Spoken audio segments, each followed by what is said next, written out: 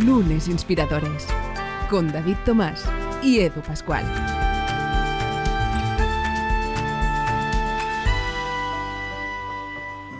El episodio de hoy cuenta con la colaboración de Spain Up Nation, una iniciativa de NISA y el Gobierno de España. Descubre más sobre ella en las notas de este episodio.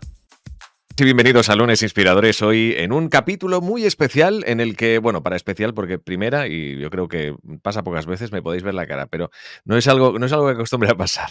Lo importante aquí es ver eh, ya no solo la cara de David Tomás, sino también la cara de los eh, invitados e invitadas que nos acompañan y con las que es un lujo eh, conversar. Hoy traemos una, una, de esos capítulos que realmente es un, es un gustazo y que seguro, yo no digo nada más, ya lo habéis visto en el título cuando lo habéis dado en el play y no os mantendré tampoco allí en Ascuas, pero sí que vamos a dar la bienvenida a David Tomás. ¿Cómo estás, David? Muy bien, aquí eh, expectante esta entrevista, ¿no? Porque al final, oye, es un placer estar cada semana aquí entrevistando a personas increíbles que nos inspiran a todos y que nos hacen que nuestra semana sea más intensa. Desde luego, desde luego. En nada escuchamos la conversación eh, que va a mantener David Tomás con Sonsoles Onega, una de las eh, estrellas de la televisión, por decirlo de alguna forma, que presenta uno de los programas de mayor audiencia, en este caso en uh, Antena 3. Y lo que vamos a hacer ahora, pues es repasar el que es el reto líder de esta semana, David, que nos propones. Mira, esta semana vamos a coger una anécdota de Stephen Hopkins, ¿no? que todos recordaréis. Sí. En el año 2004 le entrevistaban en el New York Times y él, claro, hablaba a través del ordenador, es decir, que no, no tenía esa capacidad, ¿no? Pero, pero mm, decía o dijo que estaba muy feliz por presentar el libro, por esa entrevista, ¿no? Y el periodista, sorprendido, le preguntó si estaba ilusionado y si siempre estaba tan feliz, ¿no? Y Hopkins le decía que a los 21 años sus expectativas se habían reducido a cero, es decir, que él prácticamente sabía que, que su vida eh, podía terminar muy rápido, ¿no? Entonces, le decía al periodista, todo lo que he vivido después ha sido un regalo, ha sido un bonus que me ha dado la vida. ¿no? Entonces, oye, si Stephen Hopkins, que estaba en esas condiciones, fue capaz de valorar cada uno de esos momentos, ¿no? Nosotros, ¿por qué no cogemos esta semana este reto líder y vemos todo lo que nos pasa como un bonus, como un regalo y disfrutamos de cada una de las cosas, a veces buenas, a veces malas, pero que tenemos la suerte de vivir? Qué maravilla, sin duda. Stephen Hawking, un, uh, uno de esos uh, personajes, de esas personas uh, que han pasado a la historia y por, bueno, sobre todo por su enorme y tremenda lucha, aparte, obviamente, como es muy lógico, por sus descubrimientos y reflexiones sobre tantísimas cosas que tienen que ver con el vasto universo. Pues bien, ahora sí que ha llegado el momento, después del reto líder, de escuchar la conversación de David Tomás y Sonsoles Onega. Adelante. Pues nada, Sonsoles, arrancamos con la pregunta del podcast que es siempre, ¿qué es para ti un lunes? ¿Qué significa el lunes para ti? Bueno, el lunes es la oportunidad de, de, empezar de cero. Parece que el lunes pone el contador a cero, lo para todo y empezamos una semana. En el caso de la tele, todos los días reestrenamos, ¿no? Pero es verdad que los lunes son la gran oportunidad para cumplir todo aquello que la semana anterior no hemos hecho. Así que vamos como acumulando retos no cumplidos que cada lunes eh, volvemos a borrar y a empezar. Exacto, hay una oportunidad para mejorar ¿no? lo que no nos ha salido como sí. queríamos. El lunes Inspiradores seguimos un poco la, la, trayectoria tuya personal, ¿no? La verdad es que no, no paras de, de, acumular éxitos y, oye, nos alegramos muchísimo. Eso, pagamos madera, ¿no? Que sigan muchos más, que estoy convencido que, que será así. Pero bueno, nos gusta también entender un poco de cómo fueron tus inicios. Tú vienes de, familia de periodistas, ¿no? O sea, ¿cómo fue tu educación? O sea, ¿cómo, cómo eran tus años de pequeña? ¿Qué mensajes, qué valores te insistían tus padres? Sí, es verdad que vengo de una familia de periodistas, con lo cual no me costó adaptarme al, al, al oficio que, que, ahora ejerzo. Es decir, que yo ya sabía que era una cosa de 3, 6, 5, 7 días, 24 horas, porque esto nuestro es como muy, eh, no solo muy adictivo, que eso dependerá de cada uno y de su cerebro, pero, pero sí que requiere una, una dedicación eh, permanente, ¿no? En el sentido de que tienes que estar siempre pendiente de, lo que pasa, de las novedades, de los asuntos, tanto cuando era periodista en la calle como ahora haciendo el programa, pues los fines de semana tampoco desconectas, ¿no? Estás eh, siempre pendiente de los temas, de las novedades, de las noticias. Y, eso lo aprendí en casa. Luego tuve un padre que me legó esto que veis aquí atrás, que son un montón de libros, eh, tanto a mi hermana como a mí, y eso me, hizo lectora muy pronto, ¿no? Eh, y ahora mismo creo que es probablemente lo que más ha barnizado mi educación desde, desde pequeña. Yo cuando preguntaba, ¿dónde está Egipto? Pues mi padre nos mandaba a buscar el Atlas, ¿no? búscalo. Ahora pues todo es mucho más fácil. Yo pregunto a mis hijos dónde está Egipto y van al móvil y lo buscan. Supongo que también está bien, ¿eh? hay que adaptarse a los tiempos, pero, pero esa fue mi, educación, una educación basada en la, en la, curiosidad permanente y en que la saciara uno mismo, eh, en el interés constante por las cosas y, y, sobre todo muy pegada a la realidad, probablemente por ese defecto profesional de haber nacido en una casa de periodistas. ¿no? En casa siempre se hablaba eh, de lo que pasaba y se soñaba más bien poco, ¿no? Fíjate qué casualidad que yo ahora escribo historias y, bueno, me, gusta mucho evadirme en la literatura, pero estábamos siempre como muy pegados a, la vida, a la realidad, a lo que pasaba y, esa ha sido mi, formación. Y luego también... Em, mi padre, además de esto, también nos, decía que había que currar un poquito más que los demás, ¿no? No sé, si eso tiene que ver con la educación judeo-cristiana que nos persigue, pero el valor del trabajo siempre lo hemos llevado tatuado, ¿no? Mi hermana y yo. Y otro hermano que tengo pequeñito también, bueno, pequeñito que ya tiene veintitantos años.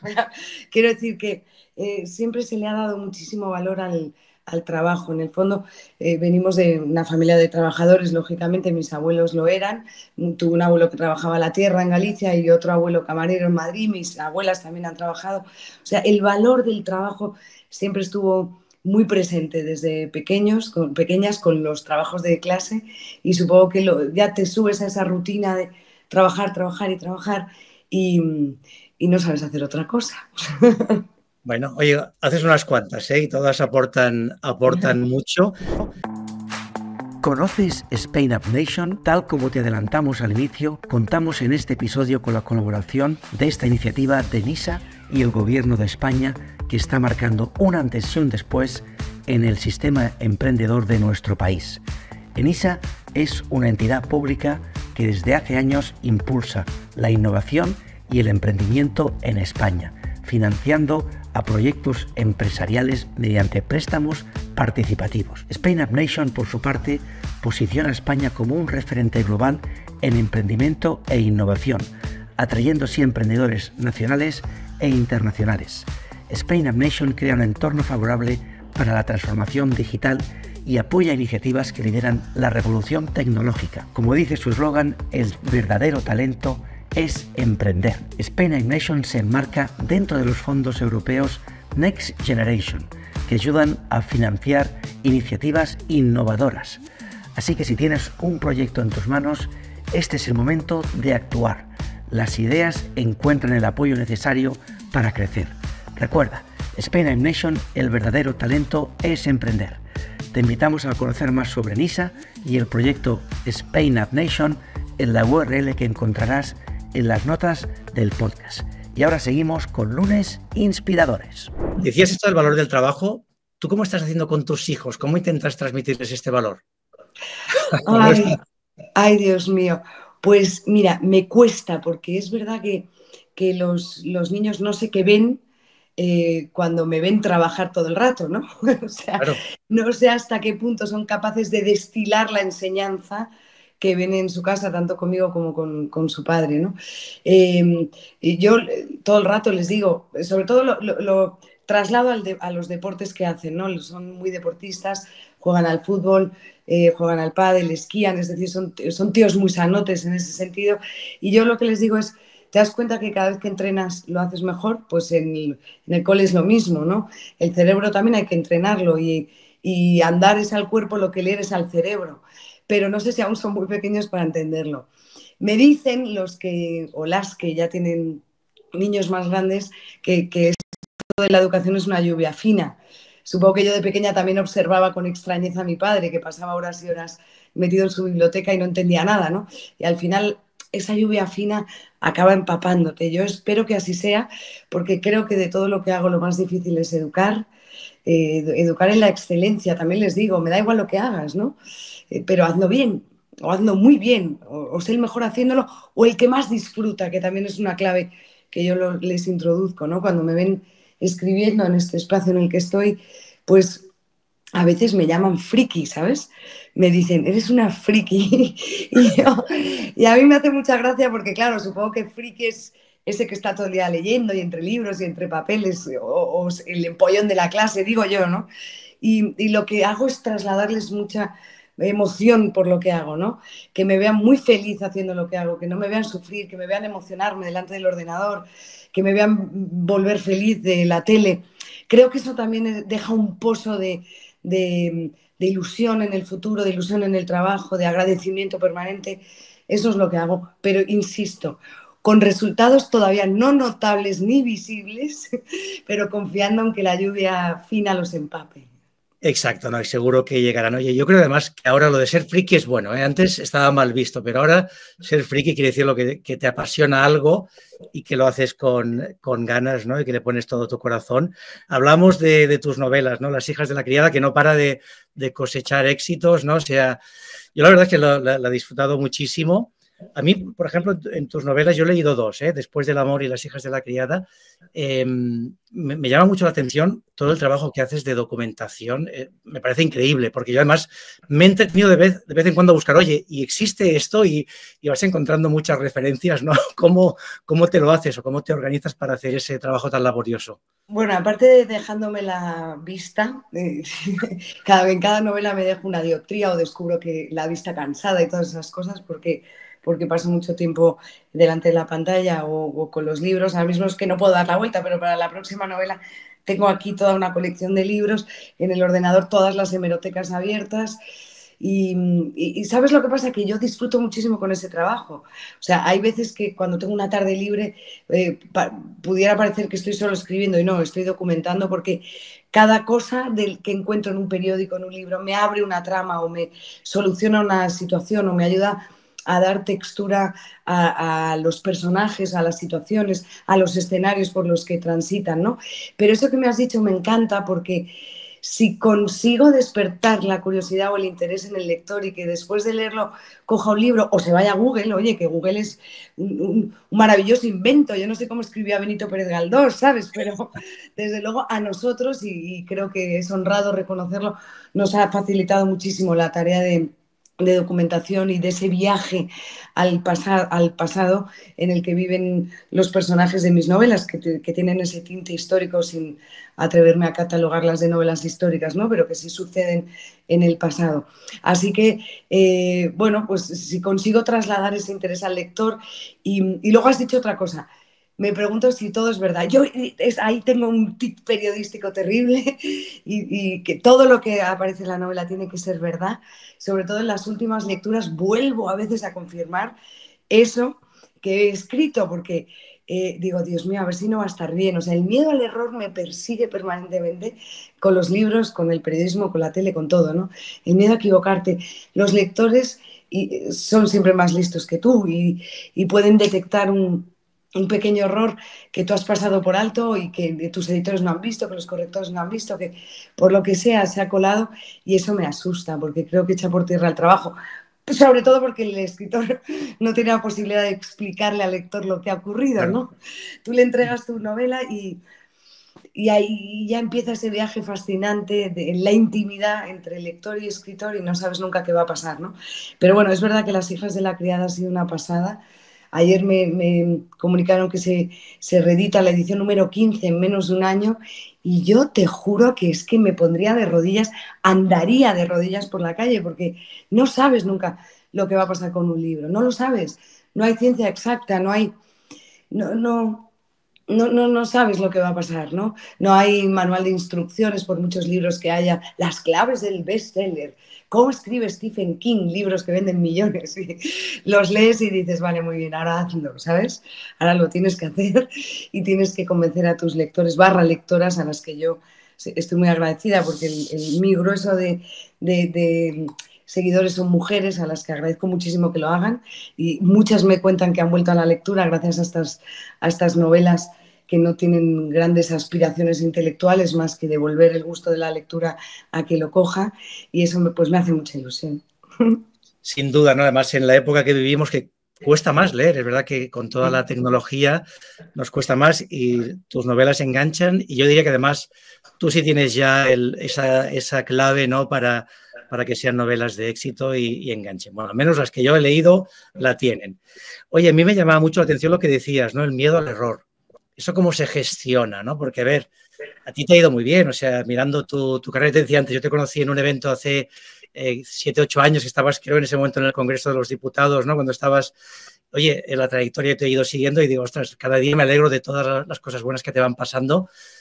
Eh, ¿cómo, ¿cómo, se gestiona ese miedo al error? ¿Es parte también del éxito que tienes, el, el cuidar el detalle, el querer siempre hacerlo mejor? Bueno, eh, se gestiona relativizándolo un poco, es decir, sabiendo que todo es bastante efímero, desde luego, y provisional no hay nada más provisional que el éxito, ¿no? Y hay millones de ejemplos o, miles de carreras que, observas con algunas con admiración y, que acaban con, la muerte del personaje y entonces pues bien, y otras que se truncan por el camino y no pasa nada, ¿no? La gente em, pues, sigue siendo razonablemente feliz, creo. O, no, no lo sé, pero, pero yo lo hago así, es decir, yo pienso, bueno, a veces cuando me entra ese pánico paralizante pienso, oye, que no operas a corazón abierto, ¿eh?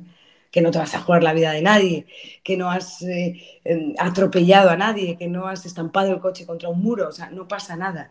Es decir, hay que relativizar el fracaso igual que el éxito, todo en idénticas proporciones, ¿no? Y luego, em, bueno, pues intento que lo que me rodea sea más sólido que todo eso, ¿no? Que el éxito y que el fracaso, eh, pues la familia, los amigos, el amor. Eh, que, todo eso sea más sólido que lo que, lo que ocurre delante, o cuando se enciende un foco o cuando estás presentando una novela. Con todo, la literatura es, es un refugio en el que me da más miedo equivocarme, quizá porque mm, mm, he escrito antes que he sido periodista y me veo escribiendo después de serlo, ¿no? Por no hablar de la tele, que tiene sus códigos y sus dictaduras. Entonces, pues bueno, vas con pies de plomo, con cuidado yo soy muy impulsiva, pero en cambio cuando tengo que tomar decisiones eh, las reposo, pienso y luego a la hora de la verdad esos impulsos que me mueven se apaciguan bastante, ¿no? O sea, a la, hora de decir alguna cosa en el plato lo pienso por el miedo al error. Cuando quiero eh, eh, escribir lo, pienso por miedo al error. O sea, que en el fondo me calma, ¿sabes? O sea, que compensa mi otro yo, que igual sería más, eh, pues eso, más, más impulsivo, menos reflexivo y probablemente se encaminara al error con, más rapidez que de lo que debiera, ¿no? Pero supongo que cada uno tiene sus claves, ¿no? Y su forma de, manejar su momento, sus tiempos y sobre todo esa palabra éxito que todavía no sé bien qué significa. Bueno, los que te vemos de fuera, oye, el éxito se te ve en, eh, en la cara, la felicidad de lo que haces, ¿no? Y, y con la energía y las ganas que le pones. A mí, volviendo a las hijas de la criada, me, me llama mucho la, atención también el inicio de la historia, que es a raíz de una noticia que lees, ¿verdad? Esto se puede contar, digamos, que, que al principio, pero, pero ¿cómo te, cómo te llegó la, o sea, cuando lees la noticia, cómo te impacta para acabar creando, ¿no? Algo tan maravilloso como, como esta novela. Bueno, pues eh, la conté como periodista cuando hacía un programa en Telecinco que se llamaba Ya es mediodía, el intercambio de unas niñas en la cuna eh, cuando nacieron error del que fueron conscientes o, que conocieron cuando ya tenían 18 años y aquello me pareció una historia bárbara, ¿no? Yo siempre digo que las mejores historias están en los periódicos, hasta en un pequeño anuncio por palabras puede haber una historia. Y, entonces eh, yo quise en ese momento profundizar en la historia, alargarla, buscar el testimonio, buscar a las niñas y a mujeres jóvenes y, continuar la historia, ¿no? Que no murieran en el, en el titular de intercambiadas unas niñas en un hospital de Logroño. Bien, no pudo ser porque ellas fueron como muy discretas y no, no quisieron pues, hablar con los medios, pero yo me quedé con la idea y dije, Joder, es que aquí hay una historia, ¿no? ¿Qué vida vive aquí eh, una persona a la que han confundido em, al nacer y ha nacido y ha crecido y ha vivido en una familia que no era la suya? Em, estas cosas del destino, ¿no? Estos quiebros, estos errores evitables. Mm, y a partir de ahí surgió la historia. Luego viene todo lo demás, ¿no? Buscar el, marco histórico, el escenario, y, ahí es donde entra el trabajo del escritor, que se convierte en un gran dictador que hace con los personajes lo que les da la gana, los sitúa donde le da la gana. y la literatura además te permite eso, ¿no? Hacer lo que te da la gana con la vida, manosearla, eh, estrujarla, cambiarla, moldearla.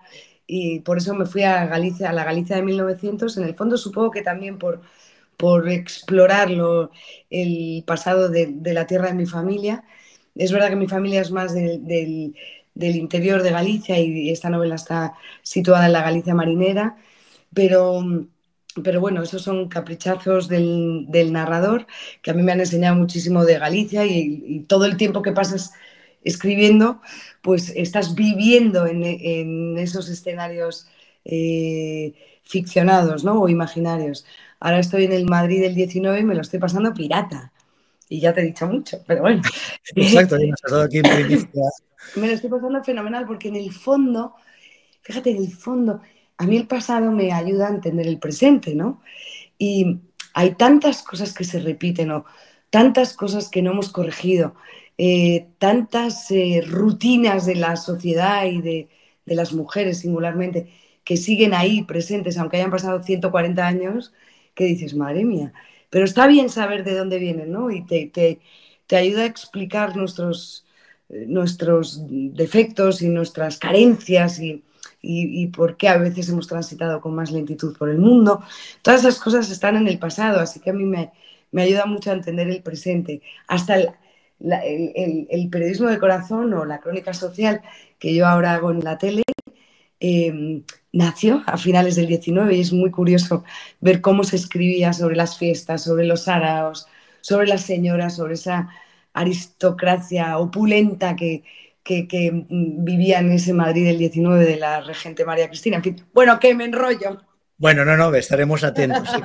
Cuando salga, oye, hablando de, pasado, de, futuro, ¿no? ¿Cómo, cómo te imaginas eh, tu futuro ahora, ¿no? Porque claro, ahora mismo estás con un programa pues de máxima audiencia, ¿no? Digamos, eh, con eh, mucha visibilidad también, lógicamente, por tus novelas. ¿Qué es lo siguiente que te gustaría que pase? Entiendo que de momento que se mantenga todo igual, pero si te imaginas de aquí 10 años, ¿no? Por decir algo, ¿dónde te imaginas? Jubilada. no, no. Yo creo que esto no va a pasar, ¿eh? Yo creo que, tú no te vas a jubilar. Es que no sé porque todo el mundo me dice, tú no te vas a jubilar. digo, ¿pero por qué? ¿Por qué pensáis que, que, no me voy a jubilar? Vamos a ver, es que tampoco estoy muy segura de que pueda decidir qué quiero hacer dentro de 10 años, ¿no?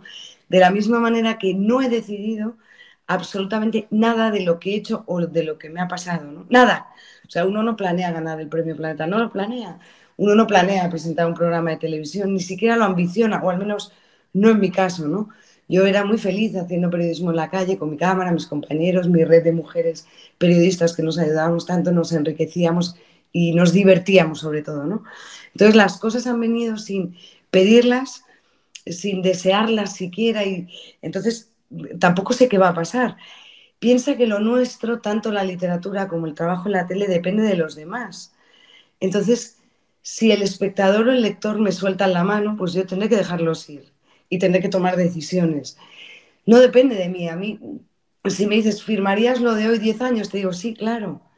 Y a lo mejor hasta me atrevo a decirte 20, porque me habré relajado las neuras, ya no me costará tanto, eh, relativizaré mucho más todo, o sea, me, pondré menos estresada si veo una errata en un rótulo de la pantalla, o sea, todo será más sencillo, pero es que no me atrevo a decirlo porque no lo decido yo, lo decide la gente, por no hablarte de los jefes. Tú imagínate que llega un jefe que yo le caigo mal y dice, mira, está, está, está por fuera, pues fuera. Entonces, cuando estamos en manos de los demás, pues, no te atreves a pedir, ¿no? Ni siquiera a proyectar ni a programar. Así que tranquilidad, trabajar en el día a día y, ya está. Y ya está. disfrutar, disfrutar con lo que haces y aportarnos tanto como, como estás haciendo. Oye, la, claro, decías, no lo he pedido yo, me he ido viniendo, ¿no? Pero también es verdad que tienes que saber identificar las buenas oportunidades, escogerlas. ¿Tú cómo lo gestionas? Es, oye, digo que sí a todo o eres muy selectiva, esto no lo voy a hacer, esto sí. ¿Cómo funciona tu forma de gestionar tu carrera profesional? Bueno, vamos a ver, respecto a las decisiones que iban a provocar grandes cambios, pues eh, em, me vinieron dadas y es verdad que supe identificar en cada una de ellas las oportunidades, ¿no? Cuando eh, eh, Paolo Basile me dio la oportunidad de presentar un programa en la tele, no, lo tenía nada claro, pero sabía que era, me iba a permitir explorar un campo de la comunicación que yo desconocía, como es un plató, ¿no? No tenía ni idea. Creo que había entrado en un plató dos veces en mi vida, en alguna promoción de novela y alguna otra vez, ¿no? O sea, no había visto un teleprompter en mi vida, o sea, es que no sabía nada. Con lo cual aquello tuvo algo de osadía, de, de, dejarte o fiarte de, un grande de la televisión como fue él, que entendió que podía hacerlo, punto. Em, y así sucesivamente, cuando me fui a Antena 3, también entendí que si ahora mis jefes me daban esa oportunidad, sería porque ellos creían que podía hacerlo y me dejé, me fié, me dejé guiar, ¿no? Eh, pero luego has tocado una pieza clave, que es gestionar el no a otras pequeñas cosas, ¿no? Y en eso estoy, he arrancado la temporada en, aprender a gestionar el no. Y me cuesta mucho porque creo que alguien que me invita a participar en su evento, en su presentación de, en, su tertulia, en su lo que sea, eh, está valorando mi trabajo y, es un gesto de cariño, ¿no? Que quieran tenerte a su lado. Entonces decir no me cuesta muchísimo por eso. Pero es que me tengo que cuidar. En la temporada pasada acabé agotada hasta límites que nunca pensaba. O sea, cuando me preguntan a ti qué te da el premio Planeta, digo, pues mira, saber que tengo límites y que mi resistencia no es eh, infinita, ¿no? Que me canso también. Creo que soy muy resistente, pero el año pasado o la temporada anterior, aquí todavía no acaba el año, la temporada fue extenuante y acabé en julio llorando más que riendo, ¿no? Y eso me ha hecho un poco de me ha dejado rasguños, no diré heridas, porque no, pero tengo que, gestionar eso mejor, porque si no estoy malhumorada, fundamentalmente. O sea, ¿qué te provoca no gestionarlo? Pues que estoy malhumorada. Y yo quiero disfrutar de cada cosa que hago. Si estoy malhumorada, si no he controlado bien el programa, si no he estado encima de las cosas, pues bajo insegura y la inseguridad me provoca eh, mal humor. Y, y al final, pues todo sale mal. Así que en eso estoy. Bueno, oye, nosotros te agradecemos muchísimo que nos hayas dicho que sí. Lunes inspiradores, la verdad que es un honor porque realmente eh, tu agenda es, muy complicada y como bien dices, tienes que, gestionar esto, así que no te vamos a robar más tiempo, que no, por favor. es un súper regalo. Eh, nos queda la última pregunta, que es saber a ti quién o qué te inspira. La gente que hace cosas, y perdón por la simplificación, la hermosura, la belleza me inspira muchísimo. Em, y el trabajo bien hecho me inspira para el día siguiente. Da igual el resultado. La satisfacción del trabajo bien hecho es un motor que no hay quien pare, que no se gripa nunca. Y se lo digo a mis equipos, estamos muy pendientes de, de las audiencias, naturalmente, muy pendientes. Pero si salimos del plato con la sensación de que hemos hecho un buen programa, que ha conmovido, que ha educado, que ha hecho país, que ha denunciado, que ha tenido sus momentos de distensión también, que nos ha sacado una sonrisa, da igual, hemos hecho el trabajo. Y al día siguiente vuelves con ganas. Eso es, eso es lo que a mí me inspira. Y pues nos quedamos con esto, que esto es para mí es una receta de máster. ¿eh? Si haces esas cosas como dices, lo que, lo que comentas, al final te va a ir bien en la vida. Eso sí que lo hago, pero porque, porque, me, porque me va bien a mí. O sea, que decir, yo aplico me aplico las recetas por egoísmo puro.